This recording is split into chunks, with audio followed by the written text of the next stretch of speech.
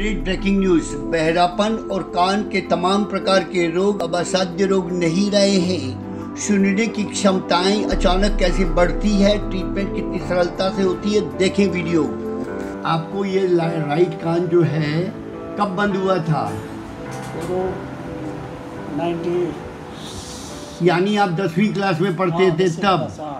आपकी उम्र होगी अब सत्तर। सेवेंटी टू सेवेंटी टू यानी आपको साठ बरस पहले कान बंद हुआ था। अट्ठावन साठ बरस पहले। और ये बंद ही है कुछ भी नहीं सुनाई देता है। और लेफ़्ट कान में भी थोड़ी थोड़ी प्रॉब्लम आने लगी है। ना उसमें वो इसमें नहीं हाँ। मतलब थोड़ी बहुत। हाँ, थोड़ी बहुत। अभी हम जब ट्रीटमेंट करेंगे आपका शुभ नाम क्या बताया? सोम भाई। शुभ भाई नमस्ते। कहाँ से आए हैं? भरूच से। भरूच से आए हैं। भरूच के बहुत सारे पेशेंट हैं वीडियो देखिएगा। मुस्लिम बहुत है वहाँ पर। मुस्लिम परिवार भी आते हैं हिंदू परिवार भी आते हैं। ठीक है। और सोम भाई आज आपको कैसा लग रहा है? अच्छा लगता है। बहुत बढ़िया लग रहा है। अच्छे हो अच्छा आपका ये कान कितने वर्षों से बंद था? Fifty six. छप्पन वर्षों से कान बंद था। और जब आप कॉलेज में पढ़ते थे तब बंद हुआ था। स्कूल में, स्कूल में? हाँ अरे बाप रे वो हाई स्कूल से। छप्पन वर्षों के बाद में कान खुला है। क्योंकि संसार में बेरापन का कहीं इलाज नहीं है। जहाँ जाओगे बोले कुछ नहीं हो सकता। और कान तो कभी खुलता ही नहीं है।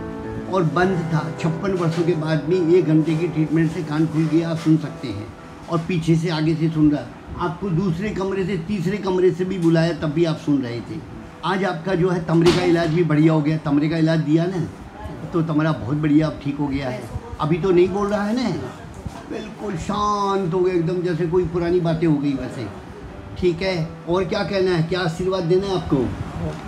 फल फूलो अच्छा लोगों की सेवा करो। सेंटर कैसा लगा?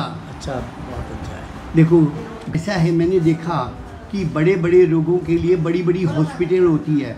करोड़ों लोग का खर्चा करते ऑपरेशन करते हैं। हमने तो क्या किया अपने छोटी सी दुनिया में एक रूम में सुला के आपका बहरापन मिटा दिया। उसके लिए ना हॉस्पिटल भेजा ना कोई और ना दवाखाना भेजा। यहीं पर करवा दिया।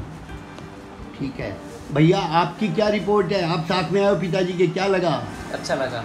और क्या लगा आज पाँच साल से सुन नहीं रहे थे तो बहुत अच्छा लगा। हाँ छप्पन साल के बाद में आज खुले। मम्मी आपको कैसे लग रहा है? हमको भी अच्छा लगा सुन रहे हैं। भैया क्या कहना है आपका? बहुत बढ़िया है। आपका ट्रीटमेंट भी बहुत अच्छा है। और इसी तरह से आप पेशेंट का जो वो करते हैं दवाई करते हैं। दवाई करते हैं। तो इस तरह से करते रहिए और आपको हार्दिक शुभेच्छा। Thank you